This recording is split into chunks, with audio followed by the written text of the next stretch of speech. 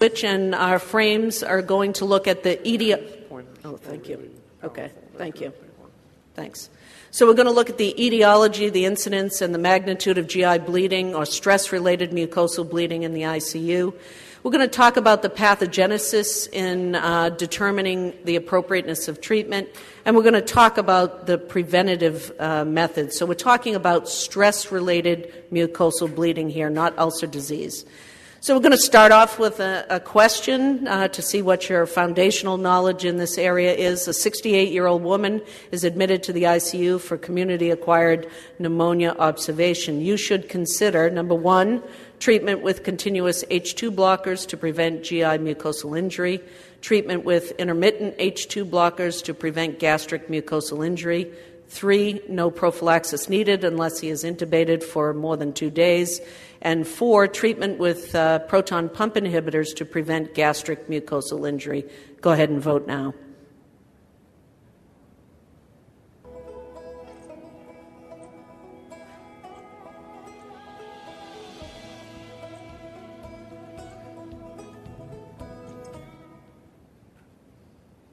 Again, uh, the correct answer was uh, chosen by the majority. The correct answer is no prophylaxis is needed unless he's intubated for more than two days. So we're starting out with uh, good knowledge, though we can bring a few along, it looks like. So there are obviously millions of ICU patients, and um, a few will die in the ICU. We also know that GI mucosal and motor dysfunction is part and parcel of systemic critical illness.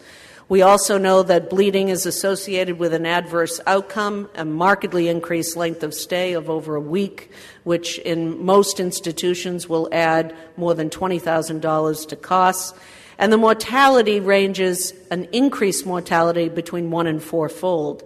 The stress related mucosal injury may develop within 24 hours. Certainly, if you look at an endoscopic basis, you'll see that almost uh, 100% of individuals at 48 hours will develop this disease. So, Deborah Cook really is credited with uh, the vast majority of uh, evidence based data in this area. And in her two landmark studies in 94 and then in 2001, you can see that the mortality associated with mucosal bleeding, again, this is not peptic ulcer disease bleeding, this is stress related mucosal bleeding, is significantly elevated um, whether you didn't have a bleed or did, and this is true over a decade of time. So, the most important first thing is all getting on the same page as what defines and how do we interpret the data from clinical trials in an evidence based manner. We need to have a single definition of what is stress related mucosal bleeding uh, in the intensive care unit. As I mentioned previously, the most sensitive way to diagnose this would be endoscopic bleeding, and virtually everyone will have that at 48 hours. That may explain why everyone thinks everyone needs to be on some sort of prophylaxis. It's incorrect, and I'll show you why. Now, if you use clinically evident bleeding, which again has been used historically in clinical trials, well, that's if you see a little bit of blood in the NG tube, if you see a guaiac positive uh, uh, stool or NG, if you actually have a little hematemesis, all of these are consistent with what's termed clinically evident bleeding, but again, this is a pretty sensitive diagnosis and overly calls the importance of this disease. What I really want to uh, focus your attention on and what should be known and used by providers is this definition proposed by Deborah Cook and used um, in most studies today in the literature, and that is clinically important GI bleeding hemodynamic instability associated with bleeding from the GI tract, a, decre- a measured decrease in hemoglobin requiring a blood transfusion. So that's what we should be trying to prevent. And when we do that, what did you see in her landmark paper of, uh, of risk factors and incidents, what I would call the natural history of this problem, over 2,000 patients, the incidence of bleeding using this diagnosis, 1.5%. Now, if you look endoscopically, what do you see? Well, you see multiple subendothelial petechiae, which may coalesce and you see um, uh, microscopically, you see coagulation necrosis of the mucosa and subsequent hemorrhage, which clinically looks uh, to be quite a lot, but again, these are not important causes of bleeding in the vast majority.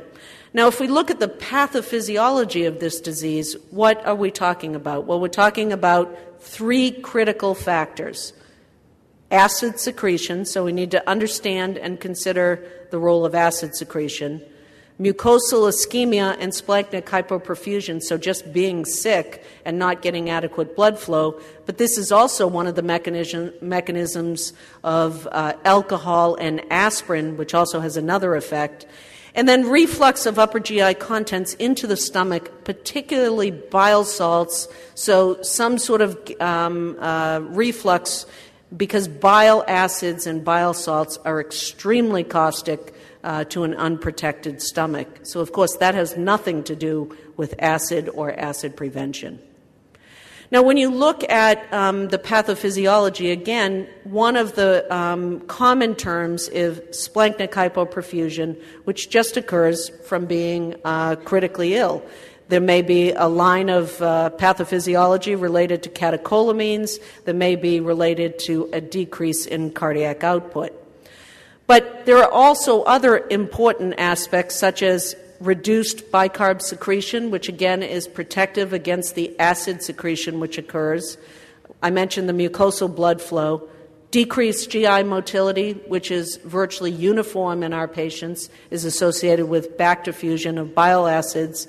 And then um, at the very uh, interface between the mucosa and the epithelium, typically there's a mucosal layer that prevents acid back diffusion into the uh, cellular elements. And this is regulated by prostaglandins. So anything that decreases prostaglandin production uh, particularly PGE, is going to interfere with the mucus layer, which is an essential component of protection in the GI uh, in the uh, GI mucosa.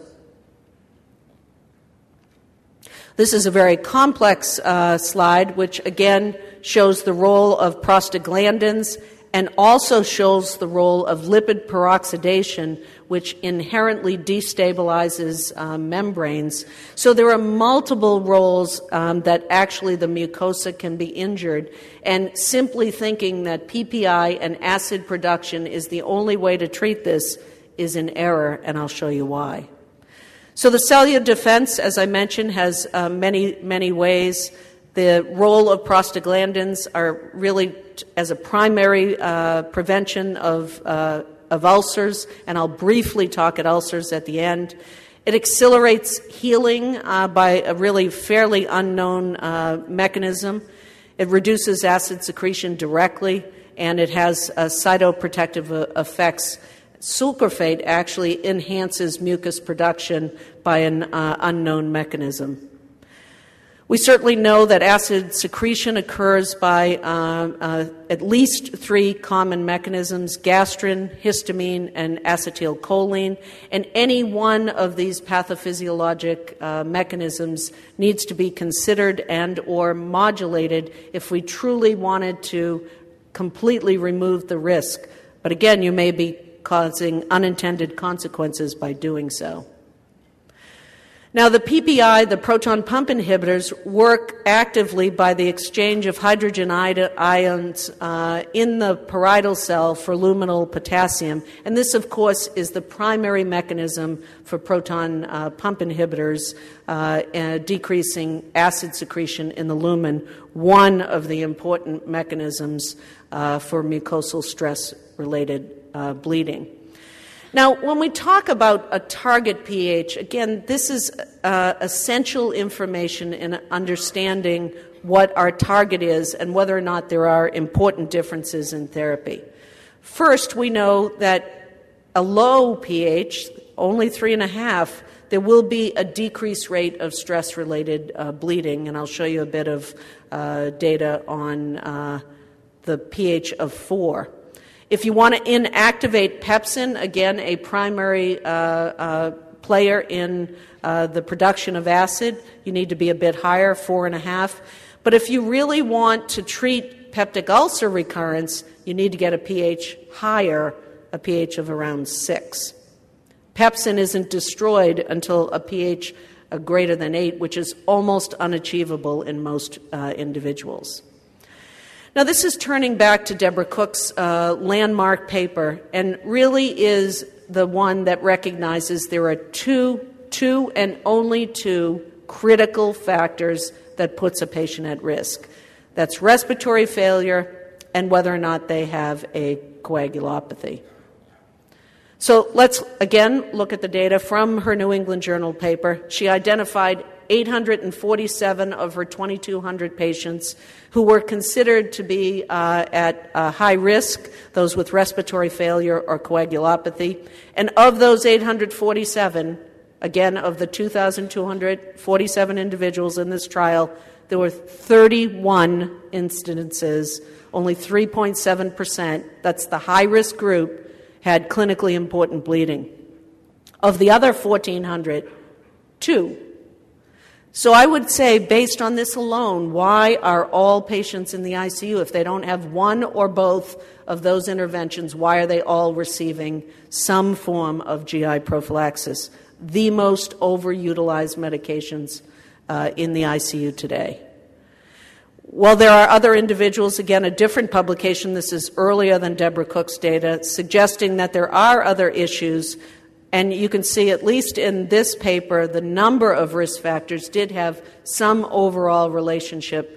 But the two most important respiratory failure, defined as intubated and mechanically ventilated for more than 48 hours, and the presence of coagulopathy. So, ARS question number two the most important risk factor for stress related mucosal injury is this is, are you paying attention? Intubation, mechanical ventilation for 24 hours, mechanical ventilation for 48 hours, coagulation abnormalities, INR greater than 1.4, or shock. 10 seconds. I'll be disappointed if this is not 100%.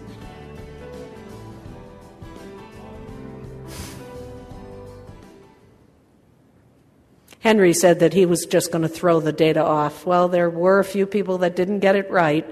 Um, in fact, it is mechanical ventilation for 48 hours. The reason why number four is not correct is that the odds ratio was lower. This is an important risk factor. Again, in board questions, you have to look the most important risk factor. Well, what about Helicobacter pylori? What, what are the data on this, and how does this contribute to GI mucosal bleeding? Well, in fact, the data are conflicting. What we do know is that if you have Helicobacter pylori, the severity of your disease is likely to be increased. So, not the probability of bleeding, but the severity of bleeding. Again, 50% uh, um, would be seropositive for occult bleeding versus 100% of those having significant bleeding. Didn't predict whether you got it, just how severe it was.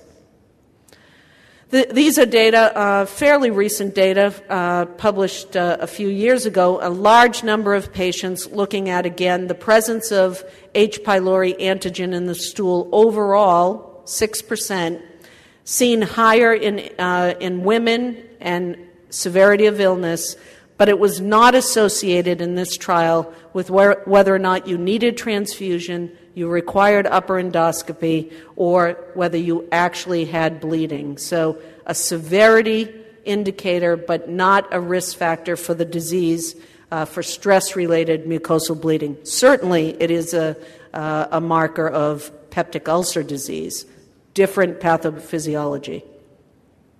Now, what are the prevention uh, options? Well, we certainly know, based on the pathophysiology we mentioned, that there are several uh, possibilities antacids, sucralfate, H2 blockers, PPIs, and I'm not going to talk about the newer agents uh, because this isn't uh, the reason for this course. So, the best preventative strategy, again, take your ARS in hand. The best preventative therapy for stress related gastritis is sucralfate because there is pneumonia, less pneumonia. H2 blockers given as a continuous infusion, PPIs with capsule opened contents given by nasogastric tube, and H2 blockers given intermittently. Go ahead uh, and vote now.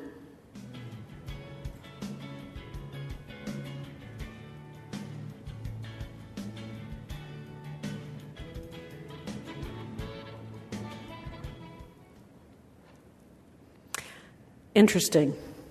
So there's really um, a majority who believe H2 blockers given intermittently is correct. I would say this is the best answer, but none of the answers are particularly good. I would agree that this is the best answer.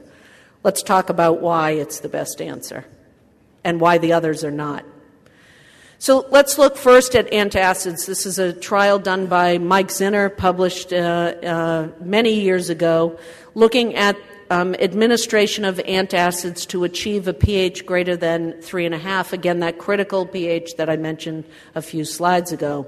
You could see that the bleeding rates were substantially diminished by this uh, treatment strategy, but you needed to titrate antacids every one to two hours. And this may be associated, though it was not in this clinical trial, with an increased uh, risk of aspiration. So, what we know is this is an effective treatment. It certainly was the standard when I began my clinical practice uh, 30 years ago, in part because Mike Zinner was at my institution. Uh, but this was abandoned many years ago, frankly, not because it doesn't work, it's too nursing intensive. What about sucralfate? Well, we know that sucralfate binds to epithelial cells for uh, protection. It has no effect on pH, so it doesn't deal with uh, acid mucosal injury. It um, certainly has been proven in clinical trials, the majority of clinical trials, to be better than uh, uh placebo and better than antacids, but it's not better than H2 blockers. And it isn't associated, again, based on uh, Deborah Cook's trial in uh, the New England Journal uh, here.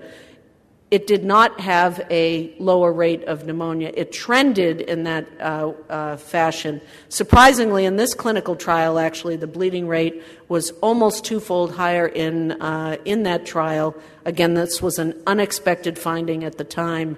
it's generally considered to be an effective treatment.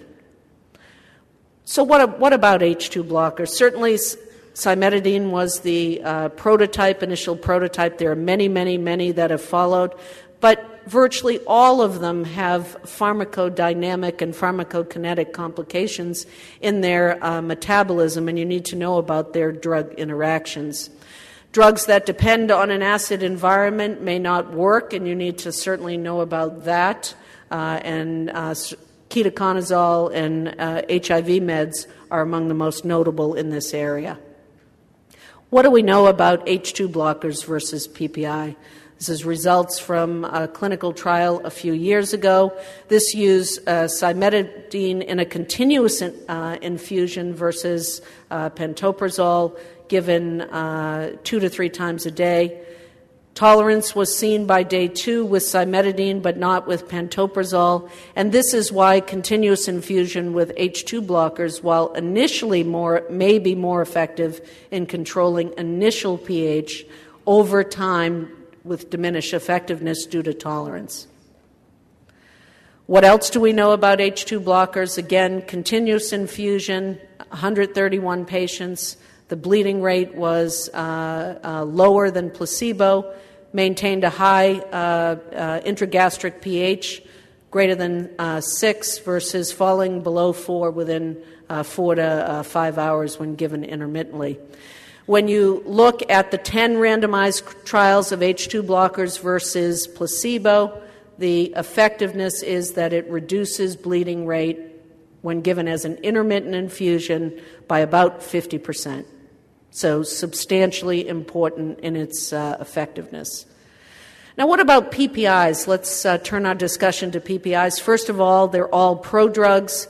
In the presence of acid, it's converted, uh, it's uh, actually protonated and undergoes a conformational change, which then allows it to be effectiveness. It binds to cysteine of the PPI uh, uh, pump, and it works only on active pumps.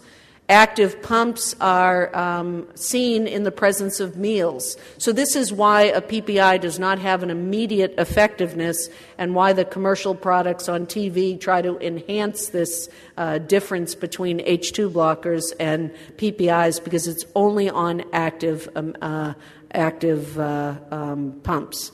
Again, it takes three or four days to see the maximum benefit uh, in uh, acid reduction. PPIs if they're given uh, orally, they must be given in an enteric capsule because they're inactivated by acid. And again, uh, to some extent, they have some um, metabolic derangements. And I'm going to comment on this uh, further in the next slide. This is just to show you the cleverness and importance of uh, construction of uh, oral medications. In fact, there are many, many layers in uh, PPI capsules that are essential to prevent its initial deactivation. Now, what you may or may not know is that there are um, polymorphisms that affect the metabolism of PPIs in a substantial way, and they're divided into what are called slow and normal metabolizers. And if you look at the genetic populations, Asians, specifically Koreans and Japanese, have about 20% incidence of slow metabolism. Now, what is its importance? Well, the half life is normally about an hour for normal metabolizers and up to 10 hours in poor metabolizers. Fortunately, we know, at least in short term use, the, um, uh, the toxicity is not a concern, but it is possible in long term use that slow metabolizers could be at higher risk for things like uh, GI lymphoma, which has been associated with long-term uh, long-term risk. The prodrugs I mentioned um, in this trial, which is uh, um, one of the classic trials in this area, omeprazole was compared with sucralfate versus ranitidine, and you can see that it appeared that the PPI in this, uh, in this trial was more effective. However, when you look at the fact that there were three arms and 67 patients, it's not surprising to think that, in fact, there was no significant difference uh, in, uh, in this uh, clinical trial. What other uh, trials do we know at? This is one of the uh, largest, if not the largest, clinical trial in the area, looking at omeprazole immediate release in oral suspension given with bicarb to fight off the acid problem I previously uh, described. Significant uh, bleeding was similar in both groups, and there was no difference in the effectiveness as measured by either low pH or the development of pneumonia.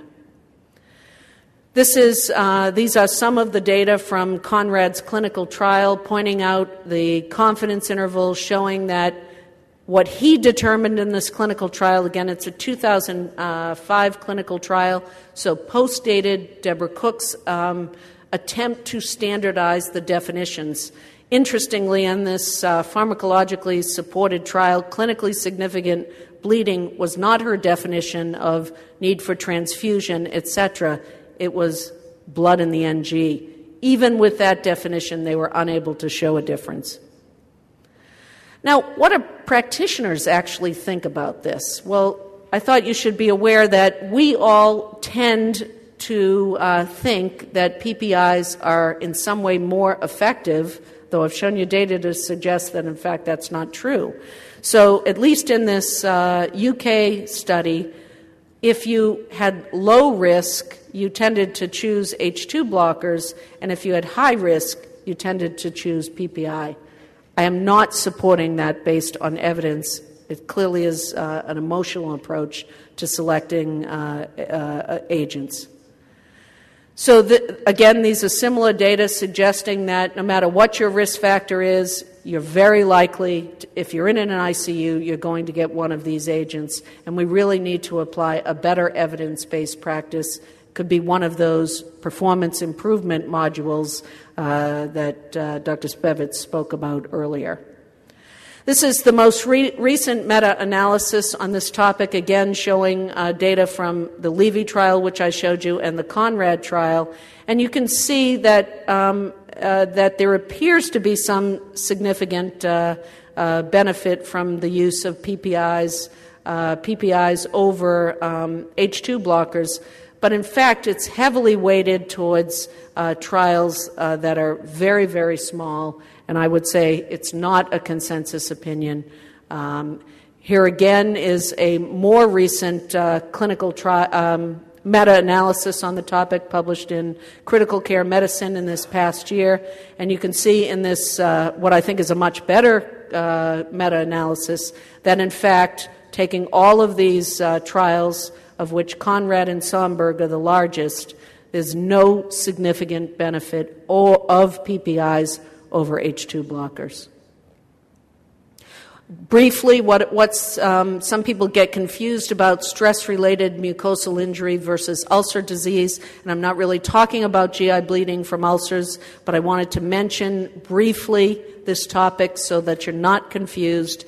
There are there's many many clinical trials on this topic with more than 4,000 patients. Two things to know: no difference in mortality when PPIs are used for the treatment of peptic ulcer disease. Rebleeding rates, however, are substantially lower versus control, and need for surgery is also significantly lower. So it isn't going to affect whether you live or die, but it is going to affect whether you need surgery or whether you rebleed. Similarly, seven controls looking at um, whether or not you should have long term treatment, um, so rebleeding and no long term treatment and H. Uh, pylori eradication. You can see that when you eradicate but don't use long term treatment, there's a significant uh, benefit to H. pylori treatment. Again, I'm talking about peptic ulcer disease and GI bleeding. What about uh, long term anti secretory uh, therapy and the treatment of uh, H. pylori? Again, when compared to controls where you, uh, you did not use either anti-secretory treatment and or H. pylori eradication, there's um, a very low number needed to treat. So in the presence of GI bleeding secondary to peptic ulcer disease, and I would venture to say in the presence of identified H. pylori disease and, and mucosal related bleeding, that you should both treat and then provide at least, uh, at least short term, if not long term, anti secretory treatment. Should you give uh, uh, PPIs uh, for peptic ulcer disease before endoscopy? And in fact, I hope you can see here that the use of PPI did not uh, do anything ex- except show uh, a decrease in stigmata of bleeding but it's important then to begin uh, early treatment, principally because of, uh, of this finding, though, again, a modest amount of clinical information in this area. So, what are the conclusions from this section? Stress related ulcers can and do occur in critically ill patients with identifiable risk factors, but we're talking about a fairly small number of uh, individuals, maybe 3.7% of high risk individuals. H2 blockers have proven efficacy, but they do to us tolerance when used as a continuous infusion. PPIs have not been subjected to significant study, about 1,000 patients overall in many clinical trials, the largest of which is about 300 patients. They do uh, increase pH, and some patients are slow metabolizers. Patients with peptic ulcer bleeding should be placed on PPIs before endoscopy and the changes of significant uh, uh, bleeding are seen on endoscopy, but it will not affect the diagnosis overall. With peptic ulcer disease, rebleeding and need for surgery is decreased, but mortality is not. Um, and finally, it's unclear if H. pylori is a cause of stress related mucosal injury, but it should be treated when identified because it is associated, even in stress mucosal related disease, with severity of bleeding, and therefore the recommendation is for triple therapy, even in that setting. Thank you very much.